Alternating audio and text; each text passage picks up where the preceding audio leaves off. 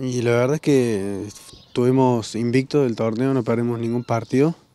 Eh, perdón, la primera fecha perdimos, fue el Interprovincial con Athletic, pero un balance muy positivo, la verdad, todo el año. Perdimos un solo partido que fue el primer año, después todo lo otro ganamos, empatamos dos. Y nada, la verdad que el grupo muy unido, siempre bancándose entre todos y la humildad ante todo. Y en el juego realmente muy, muy parejo, muy regular el rendimiento. ¿no? Sí, la verdad que sí. Tuvimos por ahí chicos que se fueron a jugar afuera, que vinieron a jugar y creo que nunca influyó que esté alguien o no esté, entonces siempre mantuvimos el mismo ritmo todo el año. Me imagino la satisfacción del cuerpo técnico, ¿no? Sí, la verdad que el cuerpo técnico trabajó mucho, tenemos un entrenador y un preparador físico excelente que siempre están ahí apoyándonos todo el tiempo.